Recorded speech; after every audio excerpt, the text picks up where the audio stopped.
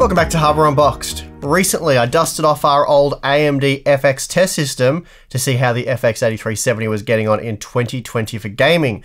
I compared it to the Ryzen 7 1700, Ryzen 3 3300X, and Ryzen 5 3600 using a range of GeForce GPUs. The GPU scaling results were quite interesting as they gave us a look at how the old FX processor compared to the newer Ryzen parts with not just a high-end graphics card like the RTX 2080 Ti and 2070 Super, but also low-end models such as the GTX 1650 Super. Now, following on from that testing, today we're going to be adding the unlocked Sandy Bridge Core i5 2500K and Core i7 2600K processors to the data, and once again for comparison, I'll be including the 3rd gen Ryzen 3 and Ryzen 5 processors. Having seen how poorly the FX8370 handled demanding titles such as Shadow of the Tomb Raider, I'm not expecting the Core i5 2500K to do any better but it will be interesting to see how the 2600K gets on with its hyper-threading support, and in particular, I'm interested to see how it compares to the much newer Ryzen 3 3300X. If my memory serves me correctly, the first gen Ryzen parts weren't a great deal faster than these Sandy Bridge processors, but of course, AMD's Ryzen range has come a long way in the past three years.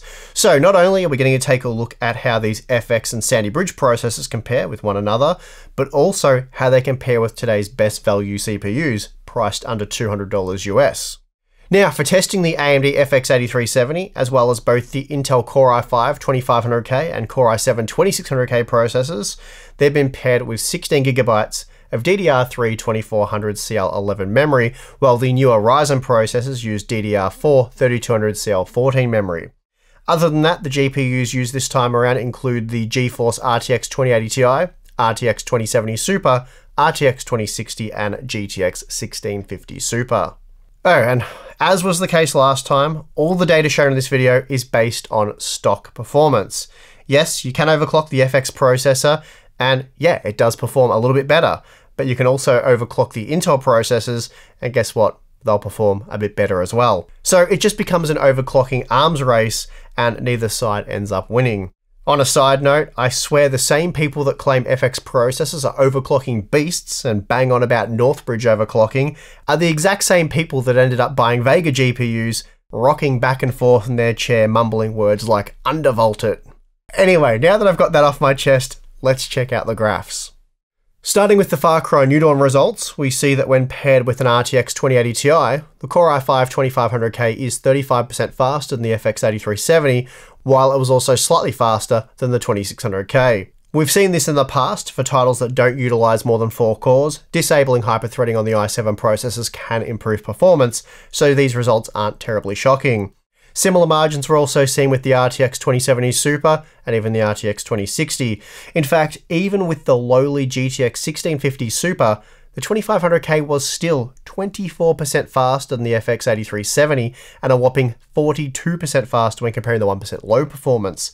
That's a devastating margin, and with the vast majority of games released over the past few years likely to show similar margins, it does paint quite the brutal picture for the aging FX processor. Now, when compared to 3rd gen Ryzen, Sandy Bridge owners stand to gain some pretty significant performance. The 3300X, for example, was a little over 40% faster than the 2600K, and again, that margin was seen with not just the RTX 2080 Ti, but also the 2070 Super and RTX 2060. In fact, it's not until you drop down to the GTX 1650 Super that the margins between the Ryzen and Sandy Bridge processors become insignificant. Reducing the quality preset to normal, so a medium type setting, which is something those with a GTX 1650 Super might do, this actually widens the margins further between the 2500K and FX 8370. Whereas previously the base GPU saw the 2500K lead by a 24% margin, here it's now 31% faster. We also see whereas the FX processor barely averaged 60 FPS, the 2500K and 2600K maintained well over 60 FPS at all times in our test, and as a result the performance difference was very noticeable. Next up, we have Rainbow Six Siege using the Vulkan API, and this game isn't very CPU demanding, as evidenced by the fact that the FX8370 does quite well here. The 2500K and 2600K are still faster, but the performance difference is negligible. Basically, all three CPUs are able to deliver highly playable performance. It's also interesting to note that last time we compared Ryzen to Sandy Bridge, we did so using first and second gen Ryzen CPUs using a GTX 1080 Ti. Which is similar to the RTX 2070 Super in terms of performance. Here we see using the faster 3rd gen Ryzen processors along with a much more powerful RTX 2080 Ti, this shows just how far behind the older CPUs are when not GPU limited. Here the 3300X was almost 40% faster than the 2600K. Lowering the quality preset to medium slightly increases the margin between the Sandy Bridge and FX8370 processors, and we also see when going the other way, it also extends the 3rd gen Ryzen processors lead over the Intel chips. The Shadow of the Tomb Raider results were probably the most shocking in the previous GPU scaling video when looking at the FX8370. Here we see that the 2500K is indeed no better, delivering the same stuttery performance. So that's a fail in our opinion for both CPUs. The 2600K though, that was noticeably better, and although the experience was far from flawless, the game is now playable at a reasonable standard. It's shocking to see the 3300X delivering over 50% more frames than the 2600K with just the RTX 2060. That margin grew to over 80% with the RTX 2070 Super and RTX 2080 Ti, so pretty incredible stuff. The key issue here for the older Sandy Bridge processors is memory bandwidth. The DDR3 2133 memory limits them to less than half the read-write bandwidth of the more modern Ryzen processors and lowering the quality preset to medium does little to help out Sandy Bridge, just as we saw previously with the FX8370. It does, however, help to reduce the GPU bottleneck with the RTX 2060 and GTX 1650 Super, and that extends the performance advantage for the 3rd gen Ryzen processors with these GPUs. Gears Tactics is another game where the FX8370 really struggled, though the performance was playable. That said, the Sandy Bridge CPUs are significantly faster, particularly the 2500K, which again benefits from a lack of hyperthreading. Even so, the 2600K was still at least 20% faster than the FX8370 when using the RTX 2080 Ti, RTX 2070 Super, and even the RTX 2060. In fact, it wasn't until we dropped down to the GTX 1650 Super that a significant enough GPU bottleneck had been created, allowing the FX 8370 to catch up. But getting back to the higher end GPU results. Looking at the RTX 2070 Super, we see that the 2500K was up to 36% faster than the FX 8370, and yet despite that, the 3300X was still 46% faster than the 2600K. It's quite impressive to see just how far processor technology has come. And before moving on, here's a look at Gears tactics using the medium quality preset, and these CPU limiter results are quite shocking. The 3300X still maintains a similar lead over the 2600K, here we're looking at a 48% margin, but what's really shocking is the 96% margin we now see when comparing the 2500K and FX8370. That is a brutal margin between two CPUs that were essentially direct competitors back when they were released.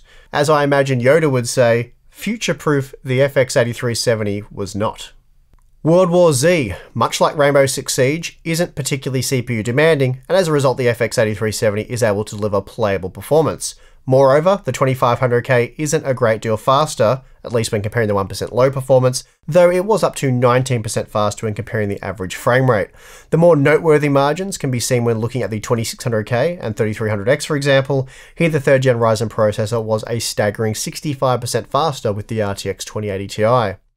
Lowering the quality preset to medium doesn't really change much here, we're seeing virtually the same margins as the ultra settings, so let's move on. Last up we have Borderlands 3, and this is another game that's not super CPU demanding, and as a result the FX8370 does just fine, though as I noted in the last video looking at the old AMD CPU, load times were painfully slow. The Sandy Bridge CPUs were noticeably faster when it came to loading the game, but they were still quite a bit slower than the 3rd gen Ryzen processors, despite delivering comparable performance with the RTX 2060 and GTX 1650 Super. Now, dropping the quality preset to medium did increase the margins, at least to the Ryzen CPUs. The FX and Sandy Bridge parts were quite evenly matched, though Intel did still maintain a performance advantage. Looking at the 2600K, it was again quite incredible to see over a 50% margin in favour of the 3300X with the RTX 2080 Ti. If it wasn't clear enough back in 2011, 2012 and 2013, surely it has to be crystal clear in 2020. Unfortunately, AMD's FX series just wasn't good. Not back then, and it certainly isn't now. And it's a real shame, and it's also why the company almost fell off the rails entirely. For gaming at least, the FX series was a complete and utter disaster. It's really not enough that in titles like Borderlands 3, World War Z, and Rainbow Six Siege that use low level APIs and just aren't at all CPU intensive to begin with, that parts like the FX8370 do well, or at least well enough. If all the gaming results looked like what we saw in those titles, and the FX series was strong in productivity benchmarks, we would have basically had a Ryzen type situation on our hands with AMD's Bulldozer architecture. Unfortunately though, the margins seen in most games over the years look more like what we saw in Far Cry New Dawn, Gears Tactics, and Shadow of the Tomb Raider for example. It's the inconsistent performance that was the real issue for the FX series. Well, that and the horribly high power consumption. The good news for not just AMD, but also those who purchased an AMD FX processor and are unlucky enough to still be using it in 2020, relatively inexpensive third gen Ryzen processors offer massive performance gains across the board, not to mention all the new platform features. Granted, the Ryzen 3 3300X has been out of stock forever now, but the availability of the Ryzen 5 3600 has been strong, and it's currently selling for $175 US. All that said, it is well worth noting that the release of Zen 3 really shouldn't be that far away. So if you can, I suggest you hold off on that upgrade. But the point is, CPU performance has come a long way, and today budget type offerings are much faster than anything you could have purchased for under $500 US back in 2011, 2012, and even 2013. And that means the upgrade for Sandy Bridge owners is also quite significant, especially if you plan on upgrading your graphics card. And I suspect the upcoming next gen GPUs, coupled with AMD Zen 3 processors, are going to prompt a good many of you to finally upgrade. So that's exciting. And that is going to do it for this one. If you enjoyed the video, give it a like. Hope you guys find these GPU scaling benchmarks as interesting as I do. I found this one particularly interesting looking at the old FX series versus the Sandy Bridge processors, and then of course third gen Ryzen thrown in there as well.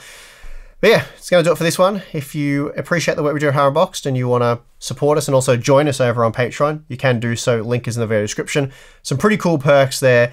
Monthly live stream, which will be coming up on the channel next week. So they're always good. Uh, what else we got? Q and A's, behind the scenes videos, the exclusive Discord chat. So that's a great community, the Hardware Unboxed community over on Discord. Good place to be if you like all this sort of stuff. And yeah, but above all else, thank you very much for watching. I'm your host Steve. See you again next time.